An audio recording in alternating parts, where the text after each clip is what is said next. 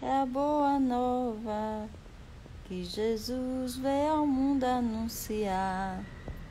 Ele é o caminho, a verdade e a vida da ovelha perdida que o Pai mandou chamar. Ele é o caminho, a verdade e a vida da ovelha perdida que o Pai mandou chamar. Santo dia, a paz de Jesus e o amor de Maria esteja conosco nesta manhã. Hoje estou começando super atrasada, porque eu não sabia que iria ter uma meditação com a, na mentoria que eu faço e acabei programando a live para as 7 horas da manhã, mas estava ocupada nessa meditação. Mas para não ficarmos sem a live, eu vou é, proclamar o evangelho de hoje e a gente não vai meditar, a gente fica com, com esse evangelho no nosso coração para meditarmos durante o dia, tá bom? Então vamos para o evangelho de Lucas, capítulo 16, do 19 ao 31. Vamos lá? Bom dia, Ana. Deus te abençoe. Hoje super atrasada.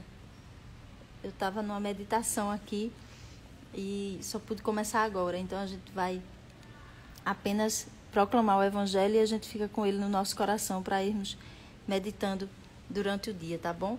Bom dia, Luciana. Deus te abençoe, minha irmã. Seja bem-vinda.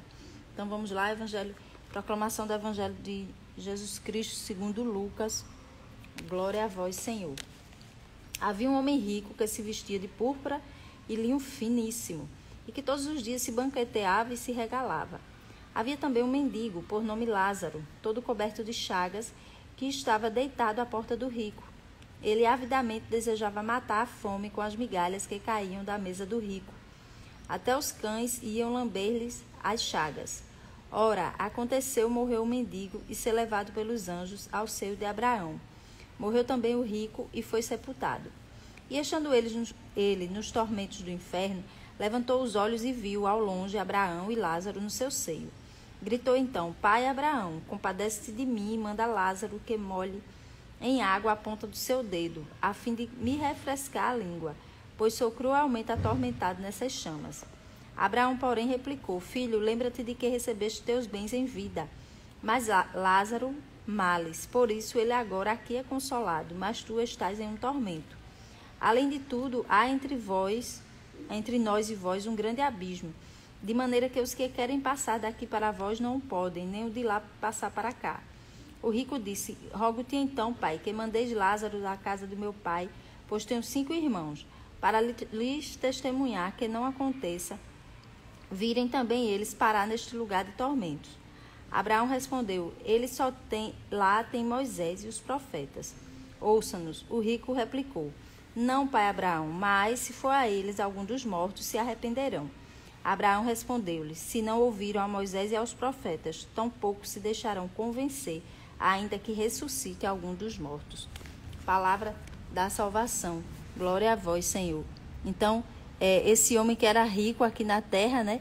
E que não estava nem aí para ouvir os profetas, para ouvir as leis de Moisés, para seguir as leis de Moisés.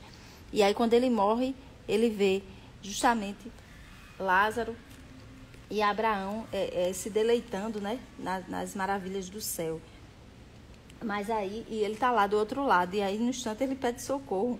Mas aí Deus diz que não pode ultrapassar para o outro lado. E ele diz: Mas eu tenho irmãos lá, manda pelo menos dizer. E, e Deus dá essa sentença, né?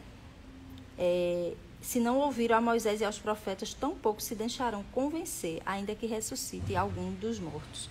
Ou seja, quando estamos incrédulos, quando estamos com o coração gelado, quando não acreditamos tem pessoas que se fecham totalmente para Deus e ainda que o morto ressuscite, ela vai dizer que foi algo da ciência, que foi porque a pessoa não tinha morrido mesmo, foi aquela doença do desmaio.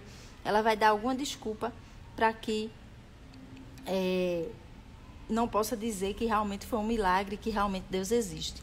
Então, que possamos estar aí na presença do Senhor durante esse dia, meditando o Evangelho, Salmo, a primeira leitura, para que possamos é, entender de fato onde está a nossa fé, que tamanho que está a nossa fé, qual, qual o, o que é que queremos aqui nessa terra, se queremos nos abastecer de todas as riquezas e não olhar para aqueles mais necessitados, ou se queremos já viver um prenúncio do céu aqui na terra, confiando nesse Deus que esse homem rico aqui não confiou, tá bom?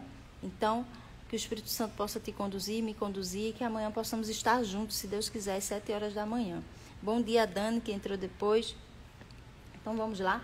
Agora reza comigo essa oração. Que teu amor vence em mim, Senhor, eu que nada sou, nada tenho, mas quero tudo em ti e contigo. Estivemos reunidos em nome do Pai, do Filho e do Espírito Santo. Amém. Santo dia e Deus abençoe. Perdão pelo horário, mas amanhã, se Deus quiser, às sete da manhã estaremos juntos. Santo dia.